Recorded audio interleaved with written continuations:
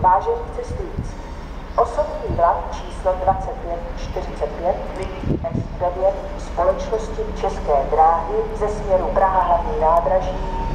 pravidelný příjezd 16 hodin 0 minut přijede do druhého nástupišti na třetí kole. Vlak dále pokračuje ve směru Prahy